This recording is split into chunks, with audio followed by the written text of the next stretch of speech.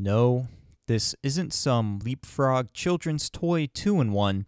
Behold one of the embers that gave rise to the netbook forest fire of the late 2000s.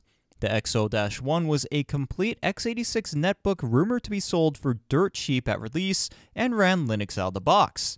Sound familiar? This little green machine ran on a hype train that surprisingly didn't crash and burn, though some of its passengers mysteriously went missing along the way, and all the passengers ended up with dysentery after indulging in the complimentary tap water. It's 2007.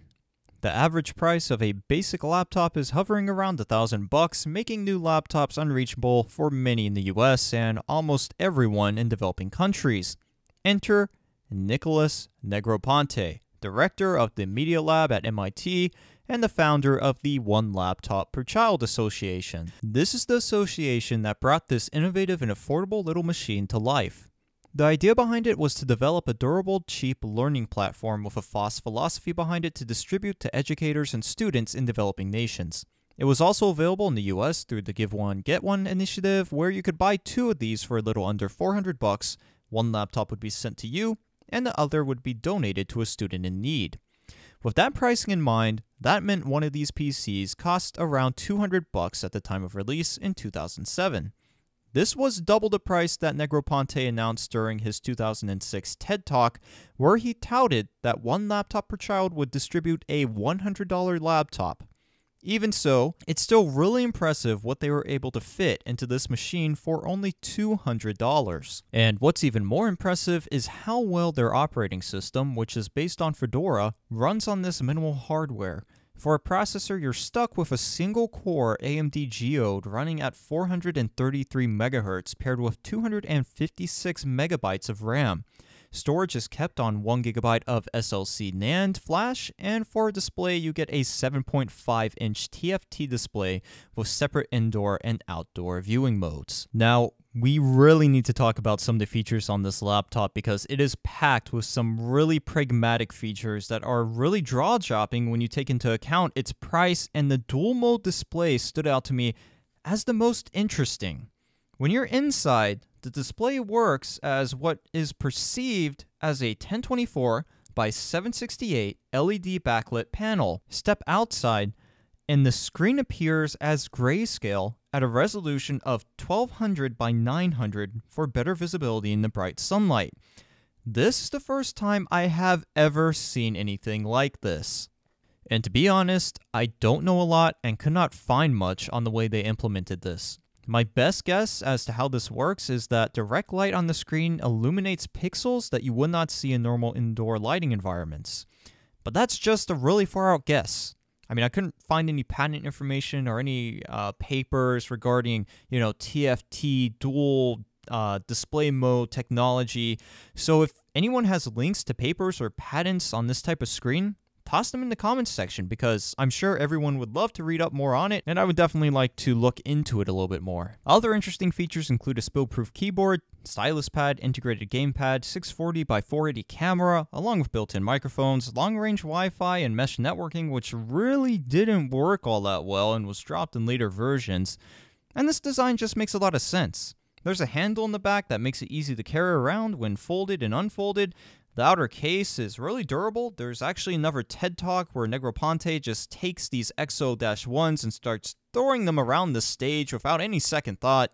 There's a textured pattern on the outside for enhanced grip, and it converts to a tablet, which would lead you to believe it's touchscreen, but it's not.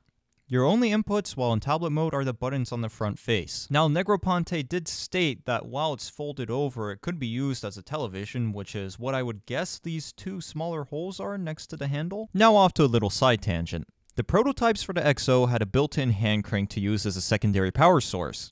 There's actually a video clip where the UN Secretary General goes to use the hand crank, and it breaks off. Now, those were prototypes, so I'm not surprised, but it definitely made for an awkward situation. And as you can see, the hand crank did not make it to production, though an external hand crank that could clamp to a table was initially offered. Back to the XO-1. For I.O., we have three USB 2.0 ports, an SD card reader, power jack, and headphone and microphone jack. It's not a lot of I.O., but it's really all you need for a basic machine like this, and taking into account the machine size, it's approximately 9.5 by 9 by 1.3 inches. That's a decent amount of ports for a small machine like this. I thought it was an interesting choice not to include Ethernet on this. Maybe that has something to do with the fact that this was targeted towards developing countries and Wi Fi tends to be uh, a little bit more prominent in those. Uh, and I should also note that there is no video output on this machine, which means your only option is to use the integrated display. And the display did receive a little bit of criticism when it was released, but honestly, it's not that bad to use.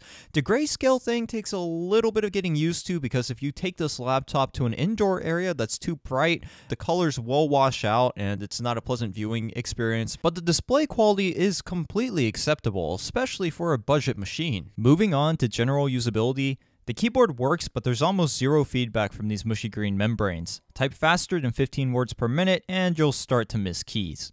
The tiny battery in this thing will give you around 3 hours of use, and the operating system breaks a lot of traditional computing paradigms, which is fine if you've never used a computer before, but if you have had the privilege of using Windows, Mac OS, or a mainstream Linux distro, it's going to take you 10 to 20 minutes to get acquainted with our wonky friend here. Though the system is usable, there's not a lot of headroom. This OS, which is just Fedora with the Sugar Educational UI slapped on top of it, uses about 150 megabytes of RAM at idle leaving very little left for the many open source applications the XO1 shipped with out of the box. The button to the top right of the XO1's keyboard opens the View Navigator. You have the option to view surrounding network devices, nearby OLPC groups, the homepage, or any applications you have open, which is usually only one due to RAM limitations, as I talked about earlier.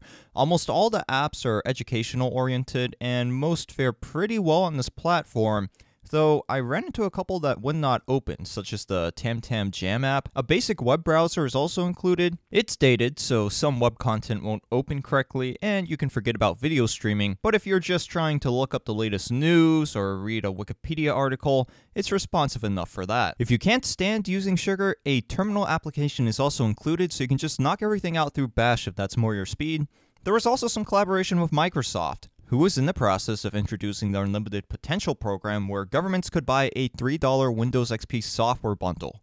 Limited field trials of Windows XP on the XO 1 started in January of 2008, and from what I can tell, some Windows XP units were shipped outside the US, though the OLPC website does not make this clear, so take that with a grain of salt. And where did all those missing passengers go?